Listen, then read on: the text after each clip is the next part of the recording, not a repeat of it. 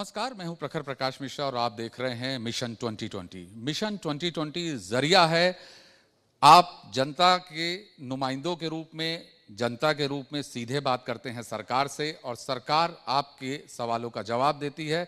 साधना news इसी क्रम में अब इस सिलसिले को आगे बढ़ा रहा है। इससे पहले हमने मिशन 2020 में आपको एसएमई सेक्टर से बात कराई थी।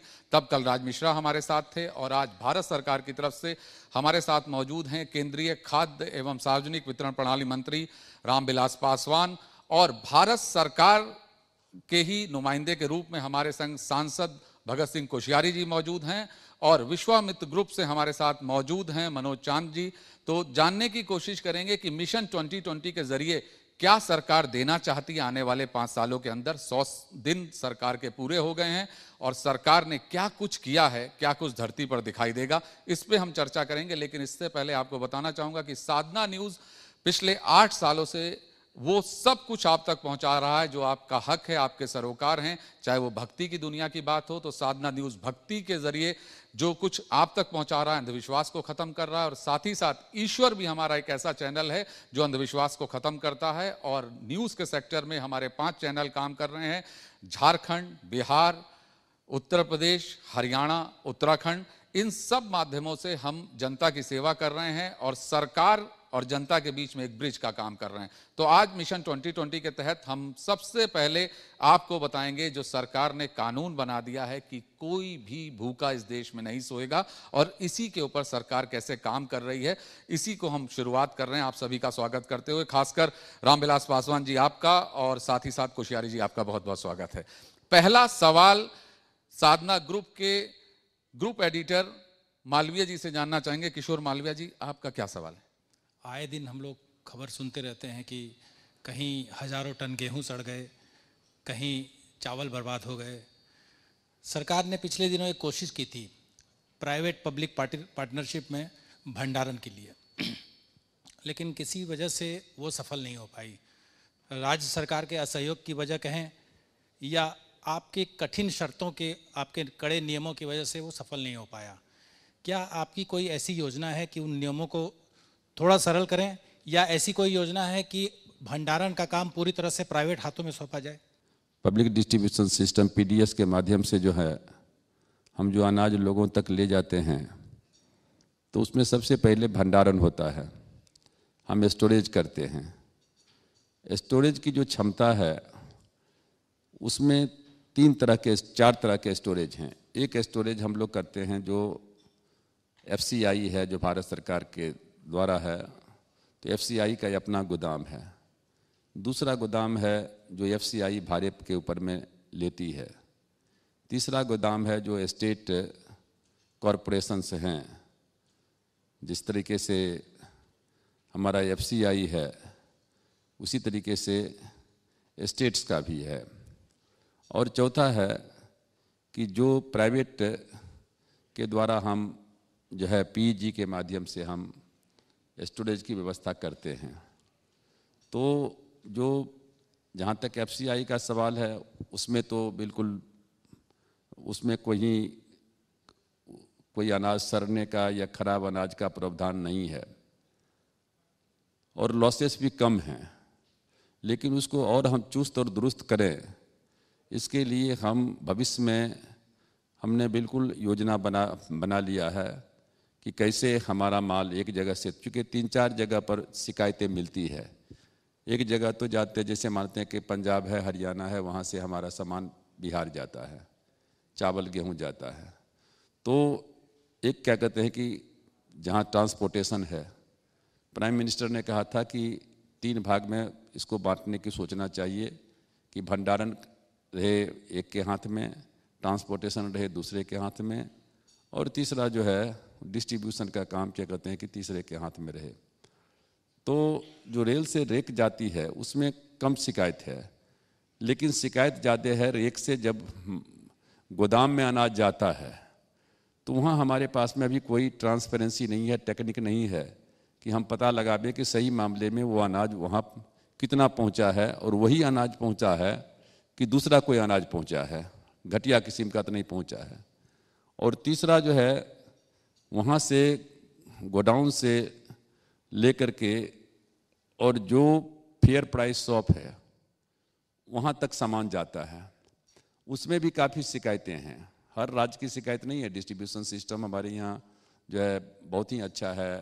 आ, सबसे अच्छा आपका जबकि नक्सलाइट एरिया कहा जाता है छत्तीसगढ़ वहाँ है। वहाँ जो महिलाएँ हैं वो जा कर के गरीब से गरीब महिलाएँ भी जो है वो अपना अनाज किसी भी दुकान में कहीं जा सकते ये नहीं है कि आप इसी दुकान में आपका है, ये दुकान में आपका अच्छा नहीं है, कहीं से भी ले सकते हैं।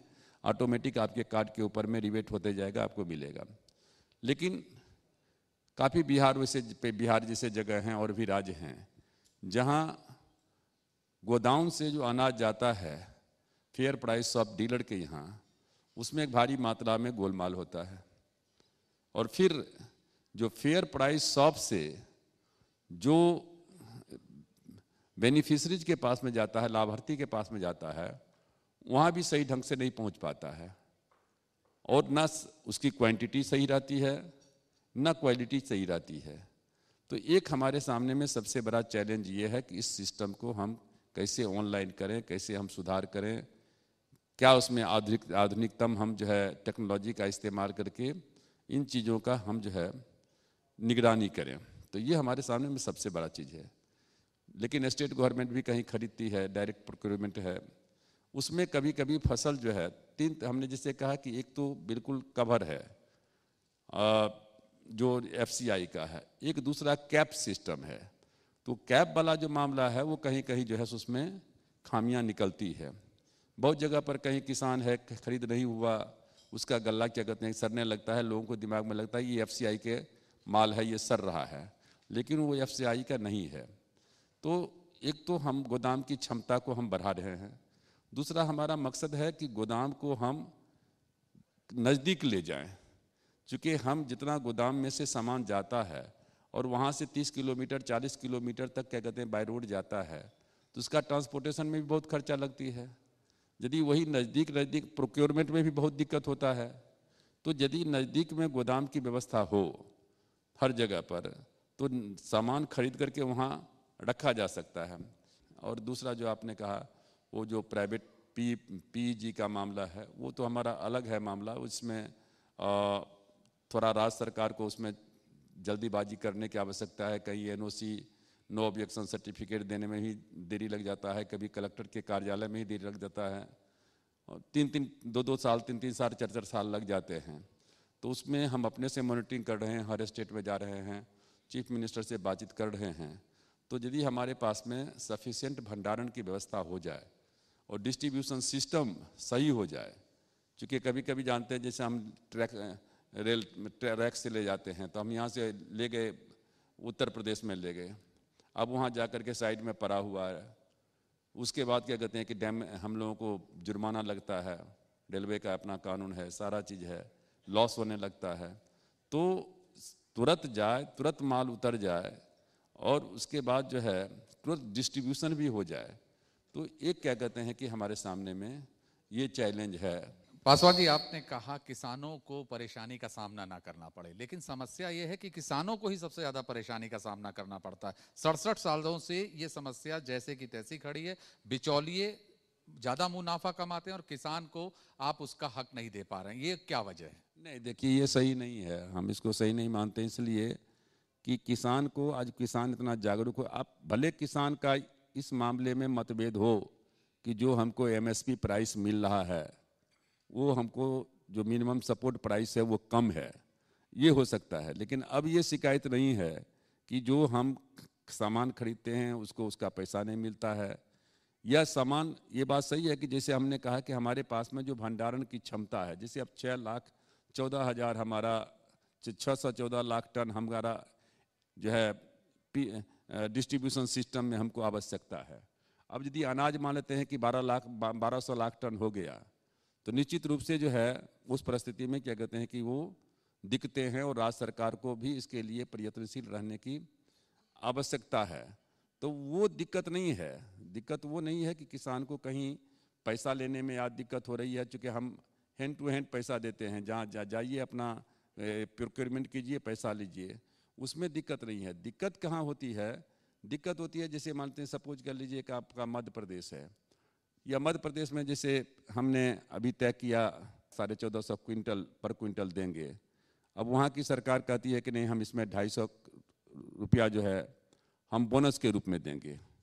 तो जो बोनस वहाँ यदि मिलता है किसान को तो स्वाभाविक है कि वहाँ जितना अनाज होता है, किसान को इंसेंटिव मिलता है, वहाँ किसान बहुत ज़्यादा पैदा करना शुरू करते हैं।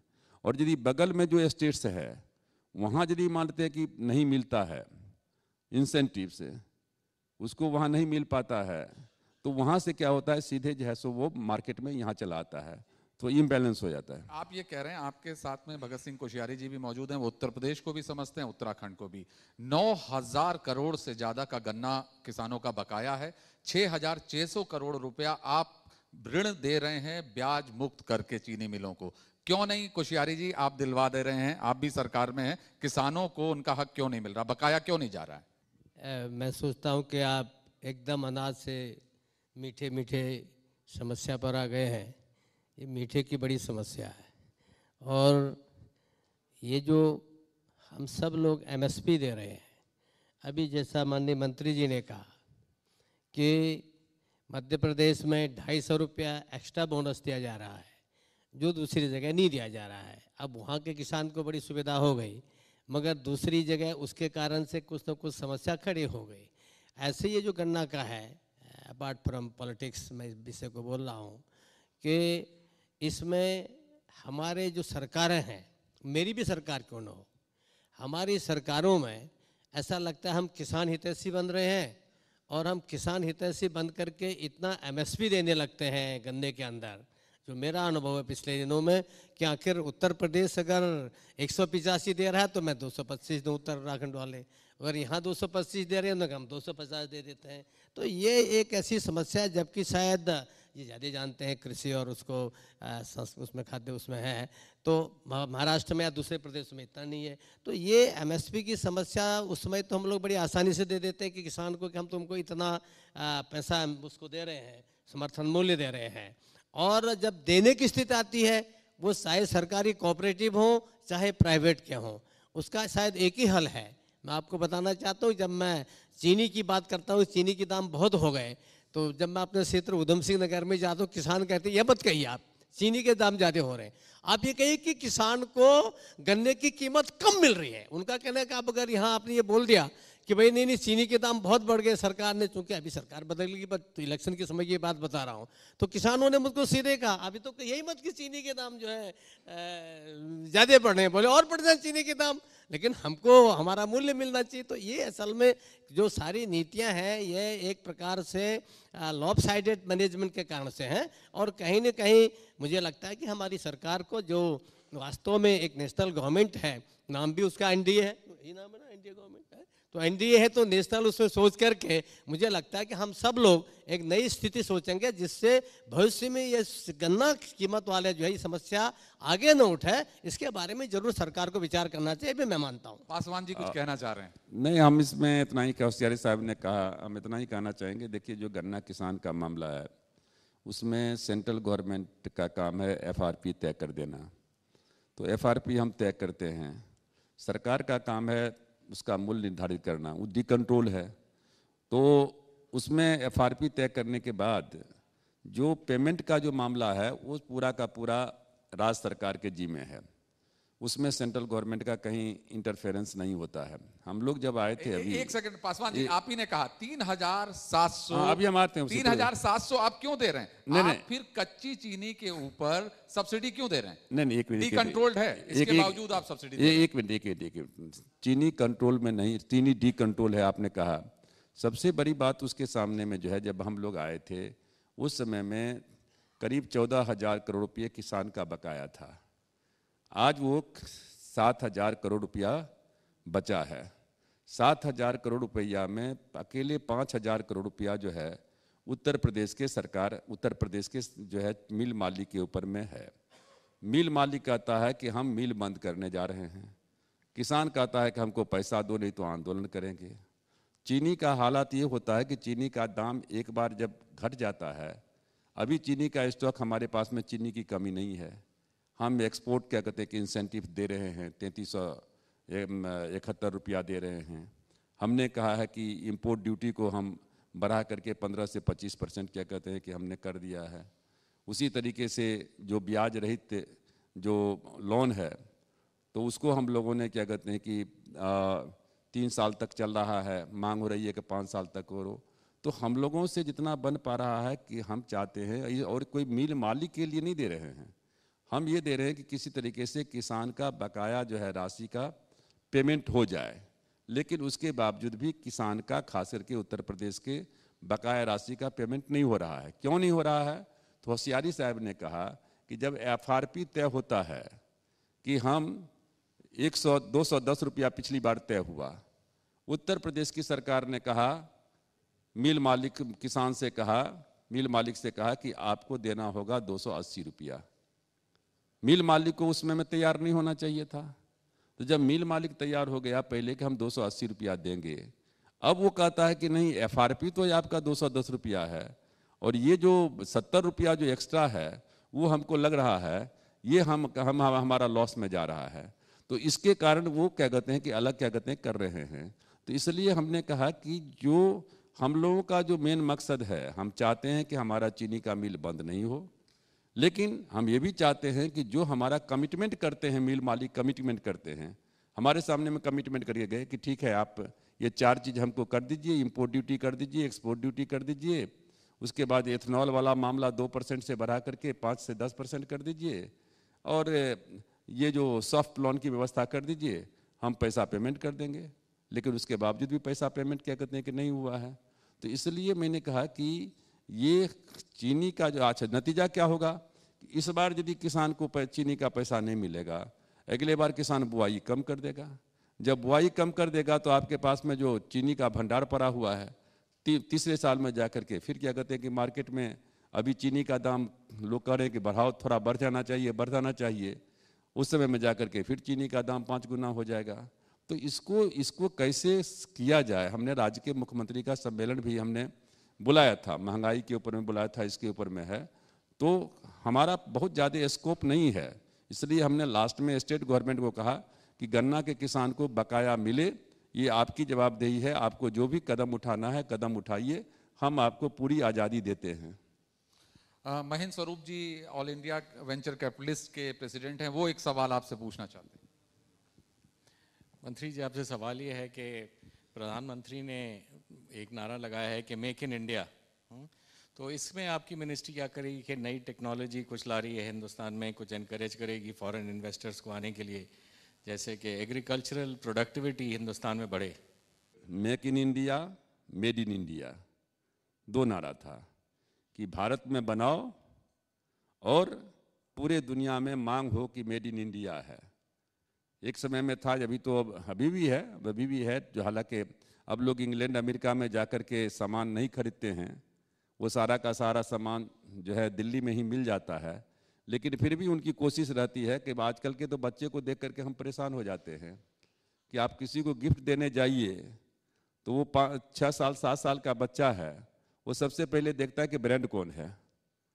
पहले हम लोगों के समय में होता था कि मूल्य देखता था कि कितना का सामान है। अब पैसा की कीमत नहीं है, अब ब्रांड की कीमत है, कौन ब्रांड लेकर के आए हैं?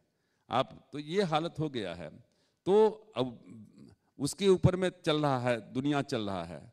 अब हमारा ही सामान जा करके आप चले जाइए, इंग्लैंड में, अमेरिका में चले जाइए, बढ़िया से बढ़िया जो है सो कपड़ा मिलेगा।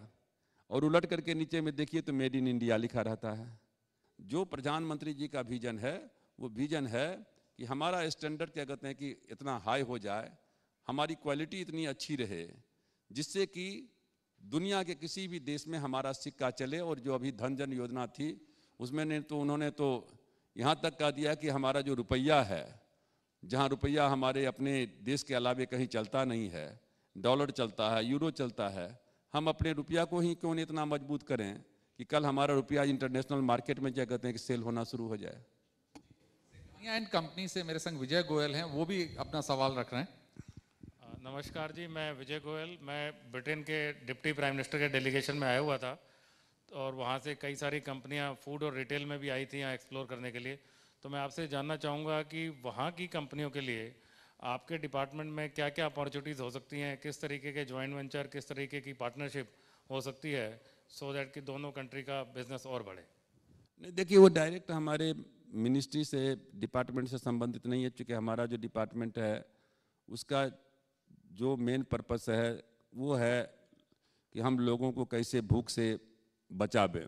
और इसके लिए जो पिछली सरकार थी, उस सरकार में ही जो है फ़ूड सिक्योरिटी एक्ट लागू हुआ था। और जो खाद्य सुरक्षा अधिनियम है, वो खाद्य सुरक्षा अधिनियम को हालाँकि सभी राज्यों ने एडॉप्ट नहीं किया है, ग्यारह राज्यों ने अभी तक उसको एडॉप्ट किया है। लेकिन वहाँ भी इसको सही ढंग से दो तीन राज्यों को छोड़ करके वहाँ लागू नहीं हुआ है। और उसके मुताबिक जो खाद्य सुरक्षा कानून है, पहले क्या था कि जो हमारा पीडीएस था पब्लिक डिस्ट्रीब्यूशन सिस्टम था, उसमें तीन कैटेगरी होते थे। अंत्योदय होता था, जिसको 25 किलो अनाज मिलता था, एक परिवार के ऊपर में 35 किलो अनाज एक महीना में मिलता था, दो रुपये किलो गेहूँ, तीन रुपये किलो चावल। पूरे देश में। दूसरा जो है था बीपीएल था, जिसको चार रुपये किलो गेहूँ छः रुपये किलो जो है चावल मिलता था। एपीएल था, जिसको छः रुपये किलो चावल छः रुपये किलो गेहूँ और आठ रुपये किलो चावल। मार्केट में ये करीब करीब कवर हो जाता था। मार्केट में क्या था कि अब गेहूँ का दाम यदि उसको छः रुपये मिलता है तो मार्केट में अठारह रुपये है। चावल यदि उसको आठ रुपये मिलता था तो मार्केट में पच्चीस रुपये है। ये होता था। लेकिन जो नया सुरक्षा कानून, खाद्य सुरक्षा कानून बना, उसके मुताबिक A P L B P L सबको ख़त्म कर दिया गया। अब एक ही कैटेगरी रहा है, एक अंत्योदय रहा है, जिसमें 35 किलो अनाज मिलेगा। और दूसरा कैटेगरी रहा है कि हर स्टेट में परसेंटेज बना दिया गया है कि इस स्टेज में बिहार में जैसे छियासी परसेंट है पचासी परसेंट शहर, गाँव में है, चौहत्तर परसेंट शहर में है, उनका जो है, जो बेनिफिशरीज हैं उनको आप लिस्ट बनाइए, काट दीजिए, उनको सबको दो रुपये किलो गेहूँ, तीन रुपये किलो चावल मिलेगा। लेकिन उसमें एक है कि पहले पैंतीस किलो के जी मिलता था परिवार परिवार के ऊपर में, अब है पर व्यक्ति के में पाँच के जी मिलेगा। तो यदि एक परिवार में पाँच आदमी है तो पच्चीस के जी मिलेगा। लेकिन पच्चीस के जी मिलेगा, दो रुपये किलो गेहूँ, तीन रुपये किलो चावल के दर से क्या कहते हैं कि मिलेगा। जो कानून बना है वो कानून को यदि ईमानदारी पूर्वक कहते हैं, हराज सरकार जो है, अपना लिस्ट बना करके कर ले तो भी बहुत हद तक में कम से कम इतना तो गारंटी हो ही जाएगा कि कोई आदमी भूखा नहीं रहेगा। भूख से मरने की बात तो दूर रही, कोई भूखा नहीं रहेगा। बाकी ये जो आपका जो है कि उसका क्या क्या मानते हैं, बाहर से यदि कोई मानते हैं आते हैं, हमारे पास में क्या इंसेंटिव्स है, हमारे ज्वाइंट सेक्रेटरी हैं, वो बतला सकते हैं, लेकिन वो हमारा डिपार्टमेंट का मामला नहीं है।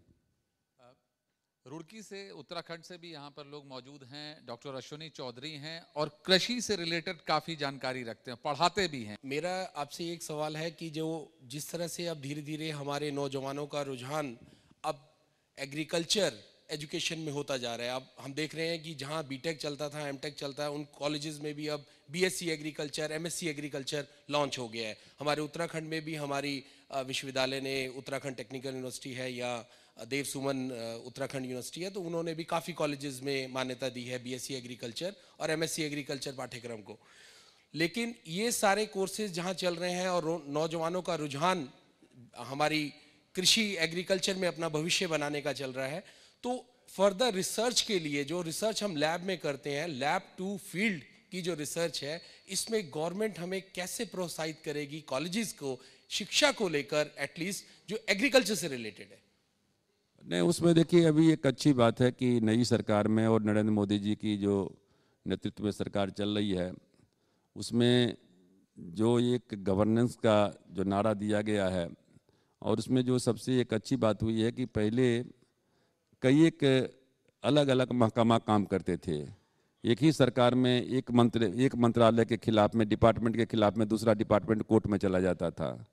इन्वायरमेंट का मामला है तो इंडस्ट्रीज़ उसके खिलाफ में कोर्ट में चला जाता था, वो उसके खिलाफ में कोर्ट में चला जाता था।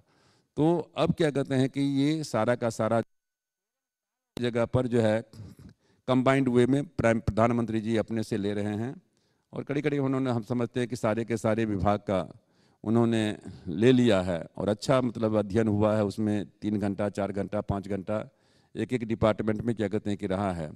और एग्रीकल्चर पर हमको लगता है कि बहुत कम लोगों को जानकारी होगी। कि एग्रीकल्चर के ऊपर में उनकी मास्टरी है। और इस संबंध में वो चाहे आपका सबको कंबाइंड करके वाटर रिसोर्सेज मिनिस्ट्री को से लेकर के फ़ूड प्रोसेसिंग्स को लेकर के खाद्य मंत्रालय से लेकर के एग्रीकल्चर मिनिस्ट्री से लेकर के सबका एक कर करके, और जैसा कि आपने कहा कि जो बच्चों का रुझान है, चूँकि ऐसा होता है जब ग्रीन हरित क्रांति चली थी, नारा चला था, उस समय में काफ़ी इंजीनियर लोग छोड़ छोड़ करके आ गए थे, खेती करने के लिए आ गए थे। लेकिन फिर वो जो है पाँच साल, दस साल के बाद उनका जो है वो निराशा निराशा उसकी हाथ क्या कहते हैं, उनको निराशा क्या कहते हैं कि हाथ लगा। तो इसलिए इसमें हमारे पास में कोई अभी हम कंक्रीट चीज़ नहीं बतला सकते हैं कि हमारे पास में क्या योजना है, चूँकि अभी सरकार को बने बहुत ही कम दिन हुए हैं। लेकिन इन सारे चीज़ों के ऊपर में सरकार का काम चल रहा है और उसको हम सब लगते हैं कि हमको लगता है कि ये जो है पाँच छः महीने के अंदर में एक मूर्त के रूप में आपके सामने में आएगा।